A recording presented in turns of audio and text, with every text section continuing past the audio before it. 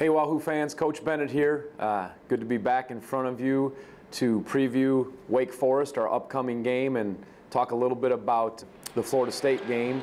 For those of you who watched that game, you know it was quite a battle. As I said after the game to the media, I think we made a statement that uh, we certainly have a team that will, will play hard and show resiliency and great fight.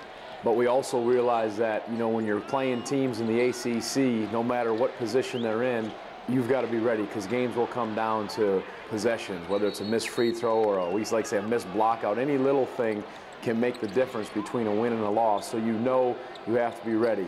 You know, we worked hard this week in preparing for Wake Forest, taking the good from the Florida State game, addressing the areas that we need to improve on.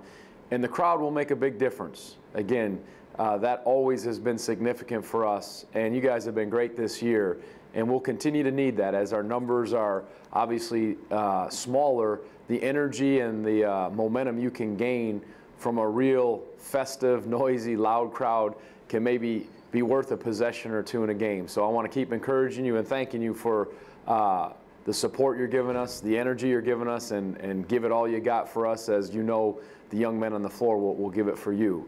Now, about Wake Forest, uh, I would say this about Wake Forest. I think they're definitely one of the most improved teams in the ACC. They have uh, two of the top scorers in the ACC on their team. And the first young man that we'll preview is CJ Harris. And if you look at his stats, averaging 17 points a game, I believe that's second in the ACC. And again, just a complete player. We'll take a look at some of his clips because he can manufacture offense uh, when he's even well guarded. He's a guy that can get to the rim, he can shoot the mid range, and he also can shoot the three, and they'll play him off ball screens. But again, he can create separation and hit tough shots.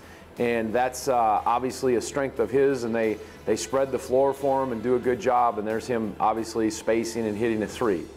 Uh, the next young man we'll talk about is Travis McKie, who's averaging 16 points a game and is, is right behind him in scoring.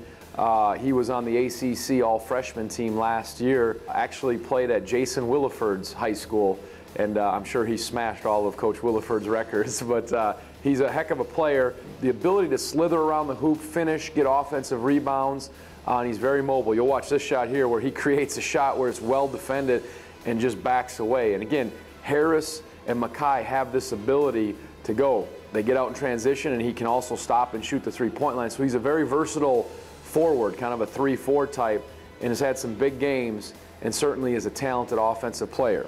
The last player we'll show you some clips are is the point guard, Tony Chennault, and uh, averaging 10 points a game. Just a heady, crafty player who's strong. You know, they were real excited when they got him last year, and we'll take a, a few looks at him playing in the open court against Carolina, has that teardrop, we call it, or the, the floater. Will certainly push and transition and find his teammates, has good vision, but there's Chennault hitting a, a three-pointer. And uh, again, complete player, those are three real good players, talented offensive players, and as I mentioned, um, they also bring in a transfer from Georgetown, Nikita Mescheriakov, who brings some, some good uh, depth to them, an improved team, and as I said, uh, we're going to have to really play well and play hard, and uh, we, we ask for your support, and I hope you're enjoying uh, these little tidbits or scouting reports of who we're playing and a chance for me to just touch base with you. And once again, thanks for, thanks for the support. And um, I hope our guys will continue to battle for you and appreciate you showing up. Go Hoos.